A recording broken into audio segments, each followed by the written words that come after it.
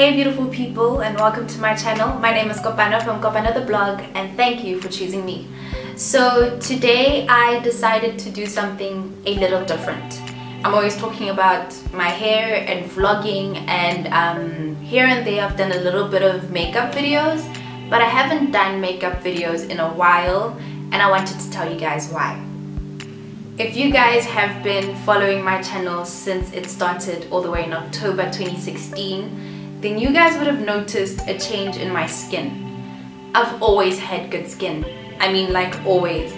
The worst that could ever happen to my skin before this was maybe one or two pimples. And then it all started to change around November 2016. I had something that looked like a heat rash on my forehead and I just ignored it. I was like, it will go away. But December 2016, it was still there and it only got worse. The pimples spread from my forehead to the outside of my face on my cheeks, to my neck, my chest area and all of my back. And that's when I knew that it's a real breakout. For now, um, five, six months into my bad skin issue, I'm okay a lot of people have told me that you know it deals it goes into their confidence and they feel quite sad because you know their skin is bad and they've never had bad skin before I know how it feels. I mean seeing my friends and family the first question that they ask me is like what's going on with your skin? And I know it's out of concern but it kind of hits on your confidence. The second thing is that I'm quite a naturalist so I believe in like taking quite gentle products for my face and drinking a lot of water and exercising. And I've been doing that somewhat. So being the naturalist that I am I haven't done anything harsh to my face. I've kept using gentle products and I haven't really done anything. And people are always asking what are you doing to clear up your skin? And I'm just like I'm dealing with it. Just give me some time especially now that it's actually lasted for longer than a couple of months. But I'm patient.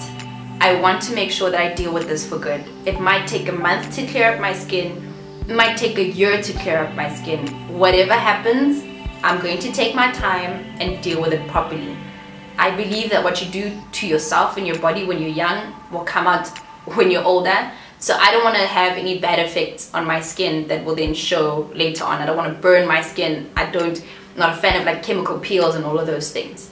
So I want to bring you guys on the journey with me to getting clear skin again. I really want you and I to open conversation about dealing with your skin. Have you had a bad skin issue before? Have you had a breakout? Different types of acne? How did you deal with it? And how did you deal with everybody giving you all this advice on how to deal with your face?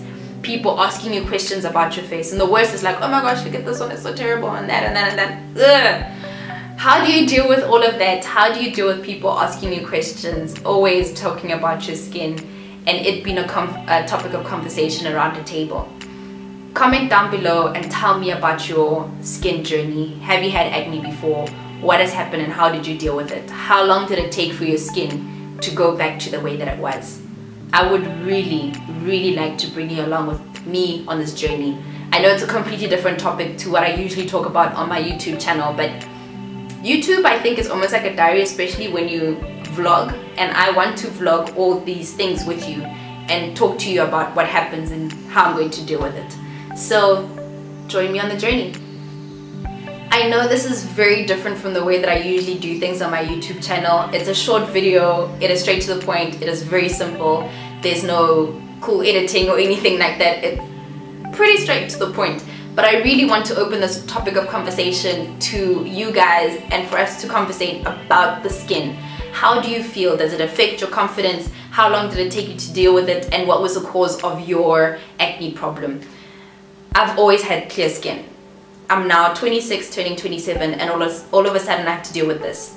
So I'd really like your advice and your encouragement along on this journey. Let's do this together. Thank you for watching, beautiful people. I hope that you subscribe to my channel, give it a thumbs up if you like it, and don't forget to leave a comment down below. Love you lots. Till next time.